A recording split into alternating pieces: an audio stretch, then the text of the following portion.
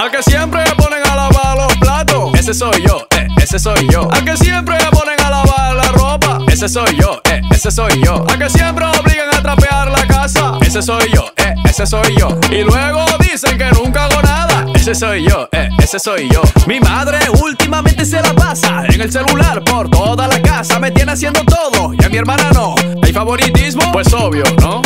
A lo que te conviene. Diles también la otra parte, nene. Ay, no me digas. Escúchame bien. Lo que te pregunte vas a responder. ¿Quién nunca se cepilla? Ese soy yo. ¿Quién siempre anda descalzo? También soy yo. ¿Quién se la pasa chateando? Ese soy yo. ¿Quién duerme con las patas sucias? Ese soy yo. Bueno, pero eso que tiene que ver. Mi hermana no hace nada. ¿Y esto qué? Dime una cosa que yo haga mal. ¿Quieres saber? Escucha, mamá. ¿Quién siempre deja la jarra vacía? Esa soy yo, esa soy yo. ¿Quién chatea con el novio todo el bendito día? Esa soy yo. Óyeme, hijo, tienes razón.